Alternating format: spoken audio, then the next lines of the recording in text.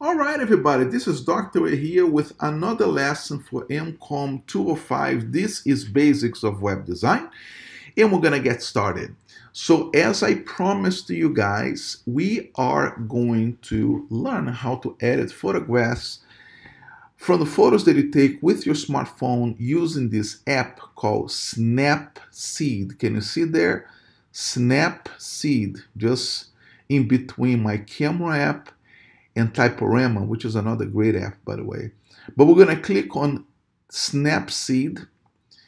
And okay, so now we are inside of the app and we're going to do some photo manipulation step by step. This is a pretty powerful tool here that Google produced. And so let's get started. Let's click on this plus. I'm going to select more photos. You have to give the option to select other photographs. So let's see which photo can I maybe manipulate.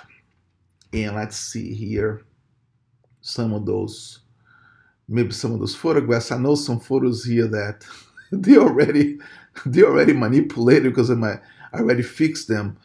But these photos here, they are pretty pretty raw here from my from my phone. Let me see if I can get some photos from graduation.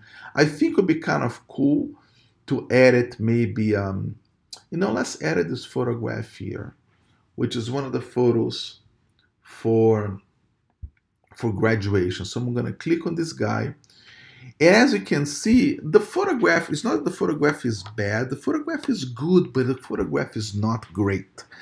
So why is it not great? To me, it looks, I don't think there is enough light in the um, I guess this just doesn't have the vibrancy. I don't like it. It's a good photo, but it's not a great photo. And we can maybe do something here. Maybe, for example, uh, can you see all these imperfections that exist in my robe, in my regalia? Yeah, we need to fix these. Um, I think my face is still a little too orangey looking, and I think colors there is a little, it's a tint of orange to that. It's not all that attractive. Um, and you're going to see that we're going to be able to, to accentuate those colors a little more. And with that, what we're going to do, we're going to just click here the accentuate so y'all can see maybe some differences. So of course this accentuation, it didn't work. Look at how orange our faces are. That's why oranges and reds are the enemies of portraits. So that one, we're going to click on um, current, right? And take that out of the way. Let's go to pop. And pop, okay, now pop is starting to get a little better uh, from the um, from the current, right? Can you see the difference? So current, and we're gonna go pop. I think is already better, but still not good enough because there is not enough contrast when we do that. This is why I would probably uh, disregard the filters and go straight to tools and when you go to tools and you click on tune image, what it can do, folks, is that it can go line by line, much like what we did in Photoshop to manipulate your image to capacity. So you click on the options in here. And the first thing that we probably should do in this case is, and if you can see, can you see this, the zero and zero at the bottom? There is some, um, that the mountain looks a little bit more to the left. That means that the image is a little bit underexposed. If it was the other way, that means that the image would be overexposed. So let's go to brightness and manipulate that to the right a little bit. And I'm going to exaggerate so you can see. Look at that zero and zero, that, that graph at the bottom. You see what happens? Like all the way to the right, oh, overexposed.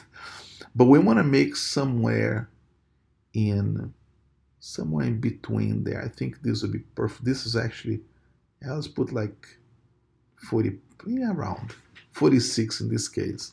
So I'm going to accept that. And once we do this, we probably should go to your highlights and make the highlight a little lower.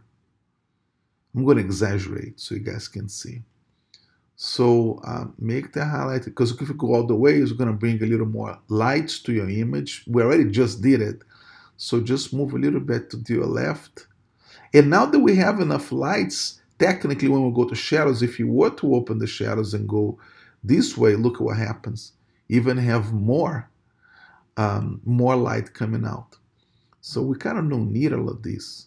I mean, we're going to manipulate contrast here in a minute. Technically, could close the the shadows, but I don't think it looks as nice. We're going to produce some, I'm going to show you guys a fancier way to produce contrast. But we're going to open the shadows a little bit. They're already quite open. And then what we're going to do, we're going to go here to, well, we're not going to go, well, it's just going to click on saturation so you can see. You shouldn't, we spoke in class, remember, don't do saturation because look how orange and red that's going to be. Yeah, ignore the saturation, even take some out of it.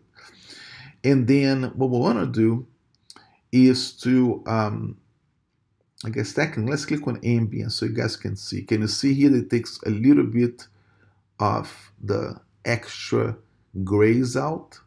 So we're going to take a little bit of that because we're going to manipulate that in, in curves a little bit.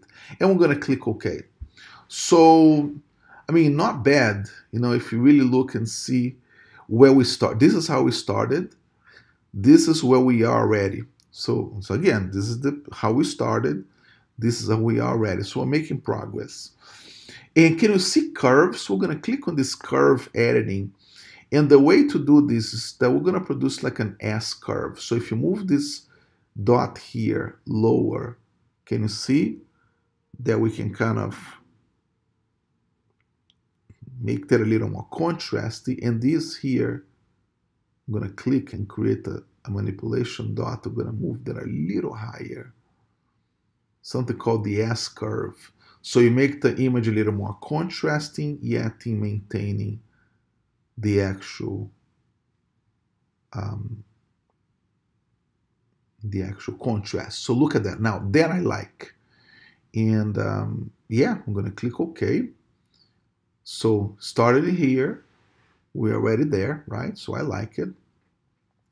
And one thing that we always should pay attention to is this idea of how your image well let's go to tone and contrast first and then we'll go there i'm sorry so tone and contrast we're going to click on this guy and here's where you can kind of fine manipulate your colors so the high tones are actually pretty good and you know that it's pretty good because nothing changes I can kind of see the low tones. To me, they look very good also. So that's why I don't see much there. This photograph is now, it's actually pretty good, folks. I mean, it, let me just come here and get out. It, it is a good photo. It fixed some of the problems already. But some of the other issues, like when you click on healing, can you see here my regalia? That's like full of imperfections. If you click on those imperfections, they kind of go away. Look at that. Can you see it? Look at that. I'm to draw here, take those imperfections out, and can kind of go through the regalia. And this, I mean, this this happened when I was in another university. There's a lot of rain. That place rained like every day. So I, I went to a graduation without an umbrella, and I came out and my regalia got some damage. That's basically is. And because those regalias cost kind of a lot of money, I decided not to replace it. it still looks good, you know.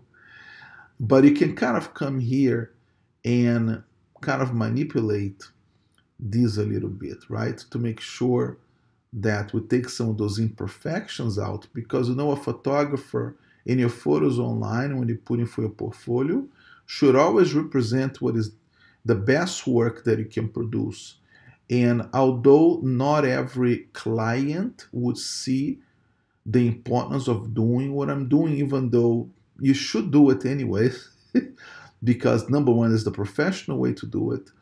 And the second is that your attention to detail is what makes you into, into an outstanding um, media producer. You know, so all micro media producer in this case, this is technically photos are micro content, right? So and for your website and so on. So here I'm just cleaning up a little bit my regalia. And when you when you zoom out, look at the difference that that made. Matter of fact, let's see if we can.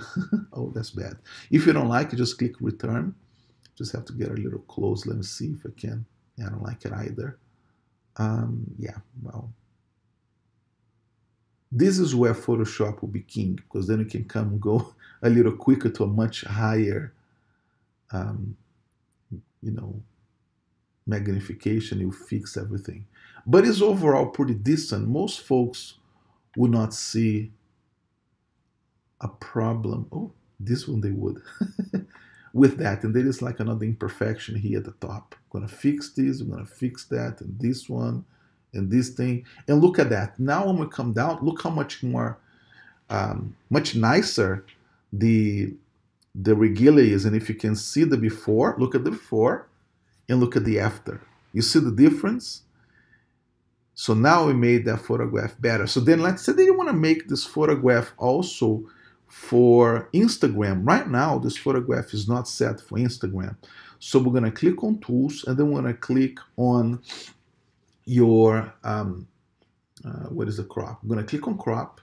And the secret is to look at the square. Can you see the square? You click on the square and then now you're going to be able to manipulate this to show that photo. So just make sure that uh, don't cut the limbs. That's the, the trick. So here would work actually pretty good. Cut at the limbs, I guess. And then we click OK. And look at that before and the after.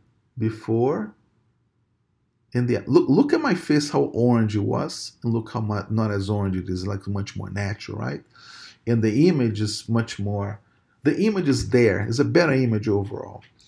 And let's say that you're happy with this, which I think this is a much better image. So I'm going to click here on export and I'm going to export with permanent changes. And once I do that, it's successfully exported. I'm going to come here to my camera app. And ladies and gentlemen, this is the ad that you have been waiting for. All right. So again, this was a lesson on Snapseed. I hope you guys enjoyed this lesson. This is Dr. A here, and guess what? I'll see you guys in class in about 45 minutes.